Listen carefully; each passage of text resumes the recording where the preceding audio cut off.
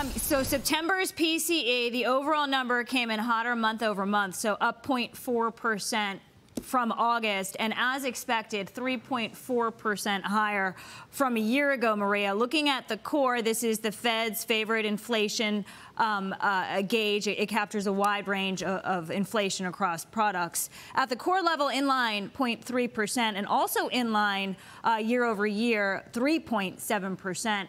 It was in August that we finally broke four. Of course, 3.7 percent uh, is far away uh, from two, but nonetheless. So as expected, core PCE up 3.7% on an annualized basis. Quickly, uh, consumer spending rising a stronger than expected 0.7%. However, consumer income up a weaker 0.3% for the month from August. Maria? Lauren, I'm not seeing much movement in markets, but I think this personal consumption, uh, consumption number is real interesting. Okay, you're telling me that it was up seven tenths of a percent. The estimate was up five tenths of a percent. So once again, we see that consumer spending and really keeping this uh, keep, keeping this economy afloat. Yeah, and that's what we saw when we got that spectacular GDP uh, report yesterday that the consumer continues to spend money. The question is why? If you have pandemic savings, you're out of them. You're putting a lot of your purchases on your credit card and servicing that debt, paying off that balance is obviously costing you more money as the Fed continues to raise interest rates. I don't know what it takes to tell the consumer to stop spending. Maybe we yeah. accept a little bit here or there. And as we hear from corporate America, everyone from Chipotle to, you know, Coca-Cola, we are accepting the price increases that our big companies, our popular brands are putting forth. Yeah, it's a great point. Uh, joining us right now to react to all of this is former Council of Economic Advisors Chairman and Hoover Institution Distinguished Visiting Fellow Kevin Hassett. Uh, back with us. Former CKE Restaurants CEO and Heritage Foundation Senior Fellow Andy Puzder former FDIC Vice Chairman and former Kansas City Federal Reserve President Thomas Hoenig. And also with me this morning, Scott Wren, John Lonski. Great to see everybody this morning. Thank you so much for being here. Thomas Hoenig, let me kick this off with you. Your assessment of the PCE report this morning and consumer spending and income. Well, I think first of all, the, the GDP number was higher than people expected, and that's very good news. The PCE came in about where most people thought it would. It, it didn't vary much from the CPI in terms of a little change month over month.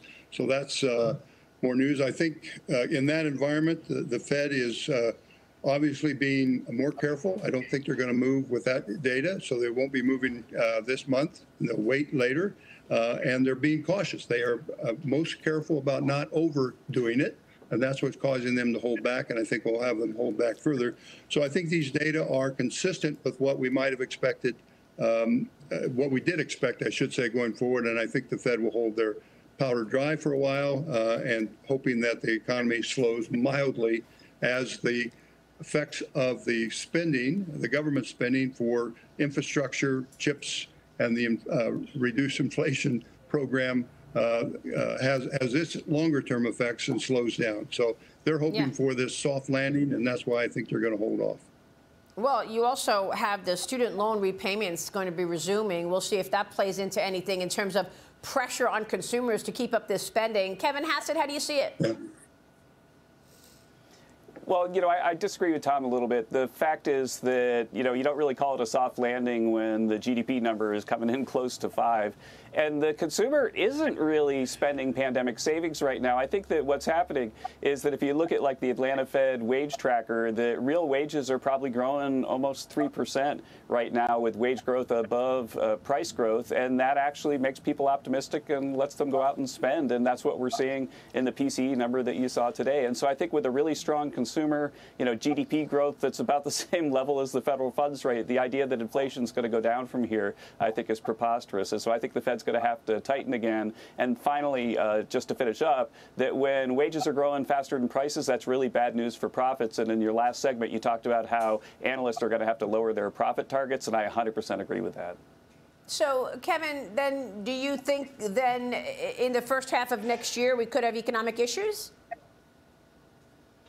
Oh, sure. But but again, what's going on? Don't forget is that the the Taylor rule for like what the interest rate should be if you really want to get to two percent is somewhere between six and seven percent for the federal funds rate. We're way below that, so economic activity is going to stay pretty hot until the Fed either tightens a lot or maybe equities collapse because of earnings. But right now, we're going to be riding the momentum you see right now until the Fed does more or you know equity markets head south in a, in a way that really causes people to slow down.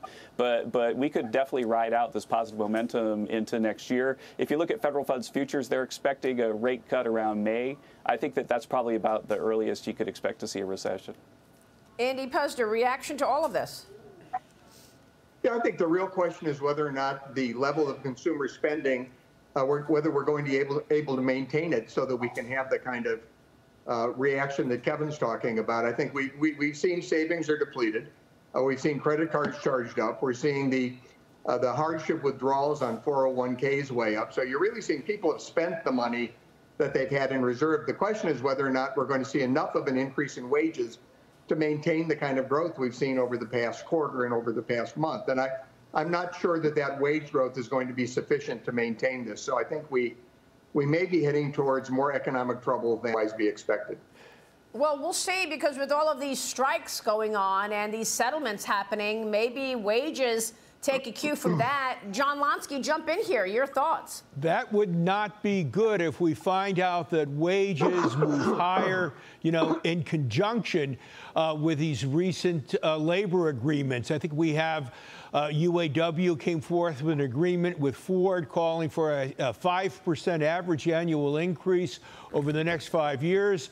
And that's well above the recent year to year increase by average hourly earnings, which was just above 4%. Uh, you know, that being said, I want to point out one thing about this report, and that is, yeah, we had a seven tenths of a percent monthly increase by consumer spending, but that monthly increase by consumer spending was far above the accompanying three tenths of a percent increase by disposable personal income or after tax personal income.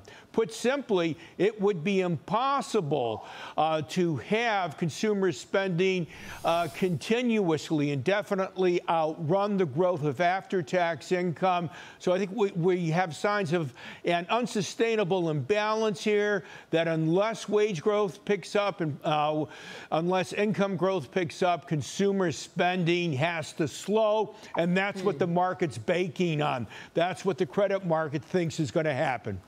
Yeah, I mean, we had Jerry Storch on the other day, former CEO of Toys R Us, and he said he's expecting one of the worst holiday spending seasons on record, given all of these pressures. Scott, from a stock market perspective, uh, you know, there's that uh, rich feeling because markets are up year to date.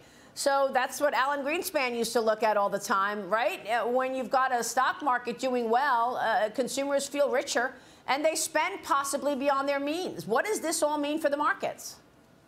Well, you know, I think I think Andy hit the nail on the head. I mean, we know that credit card balances are over a trillion dollars, and if you look at some of the Fed data, Maria, it, uh, the the bottom 80 percent of the income scale have less cash on hand now than they did before the pandemic. So it's really the spending ability uh, is really going to tighten up here. And so I think what that means for the market, as I as I mentioned in our last block, um, uh, you know, earnings estimates are too mm-hmm. high. Uh, we think there's plenty of headwinds out there when when basically services spending and the consumer uh, have been driving this. I think the thing that's kept the market uh, uh, really kept the market and the economy afloat is all this deficit fiscal spending spending on infrastructure. We've got a lot of people out there, roads, airports, uh, EV plants, uh, semiconductor fabrication plants. Those are all high paying jobs. Americans with money in their pocket are going to go out and spend it, uh, but there's going to be a lot more push, or a lot less push, I'm sorry, for personal spending as we enter the new year. Well, it's a good point. And Thomas, I'd love you to weigh in on that because for the last couple of years, it's been the Federal Reserve uh, really the only game in town trying to reverse inflation. They are up against a tsunami of spending. $6 trillion in, spe- in borrowing and spending just in the last two years. when you look at this, are you looking at the wealth effect like Alan Greenspan used to look at? Are you looking at earnings estimates, uh, as Scott says, perhaps way too high? How do you see things? I, I think it's down the road. I, I, I think in one sense, Kevin's right. Uh, as you, we've been kind of rolling with uh, this very high spending that you talked about. I mean, this infrastructure, and this has been carrying us forward. That's coming to an end.